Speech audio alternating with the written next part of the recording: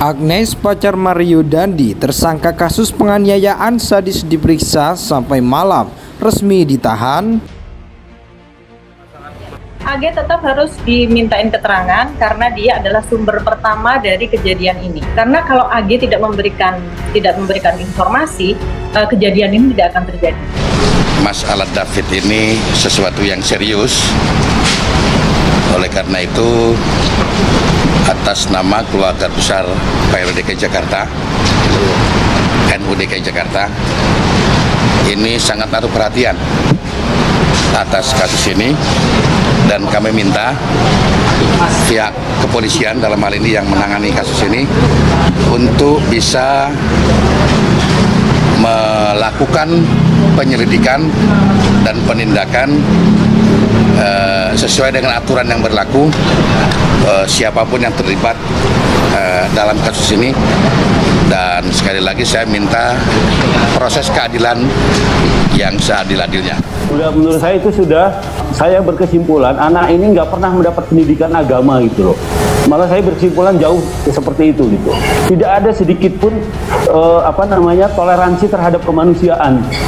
Ya, nah karena itu uh, di beberapa apa kesempatan saya juga bilang ini nggak tidak tidak cocok hanya di uh, apa namanya uh, di didakwakan atau disangkakan dengan pasal hmm. apa undang-undang perlindungan anak ya, hmm. ya tetapi juga mestinya pakai KUHP ini sudah sudah mengarah pada pembunuhan kalau menurut saya ya nah karena itu eh, apa apa saya sependapat gitu dengan anggota DPR yang menyatakan bahwa mestinya ini yang digunakan adalah pasal perencanaan pembunuhan ya. aku lihat sih secara mental korban ini juga mungkin ketakutan ya karena yang lawannya tuh ada lebih dari satu orang ini kan uh, aneh ya maksudnya udah melakukan hal seperti itu direkam juga disebarkan.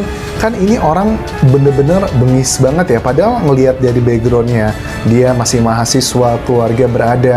Gak heran aku setuju sekali sama universitas yang sudah memberikan press release bahwa MDS ini sudah secara resmi dikeluarkan dari kampusnya agar memberikan efek jerah. Pada saat MDS ditampilkan ke media massa saat press conference bahasa tubuhnya memang menunjukkan dia ini kesel tapi dia juga terlihat masih sangat emosional dan ego tidak ada rasa penyesalan kayaknya. Pacar Mario Dandi, Agnes, menjalani pemeriksaan atas kasus penganiayaan sadis terhadap Davis. Pemeriksaan dilakukan di Polres Metro Jakarta Selatan selama 4 jam. Kuasa hukum Agnes Magata atau Ding Alo mengklaim kliennya hingga kekinian masih berstatus saksi.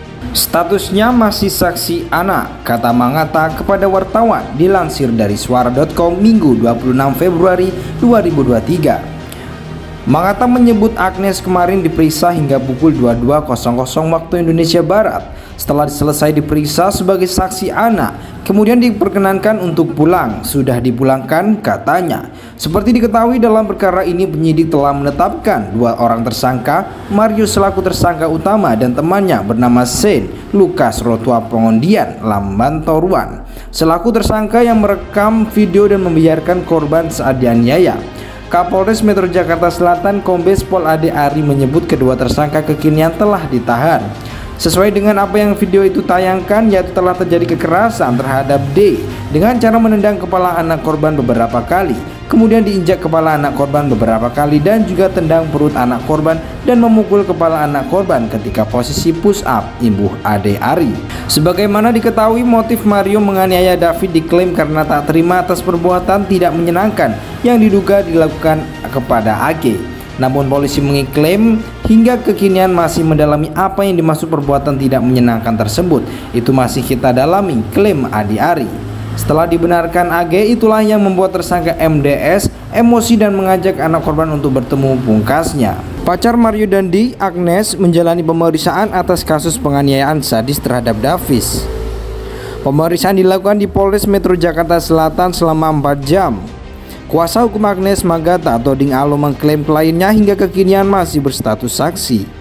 Statusnya masih saksi anak, kata Mangata kepada wartawan dilansir dari suara.com Minggu 26 Februari 2023. Mangata menyebut Agnes kemarin diperiksa hingga pukul 22.00 waktu Indonesia Barat. Setelah selesai diperiksa sebagai saksi anak, kemudian diperkenankan untuk pulang. Sudah dipulangkan katanya.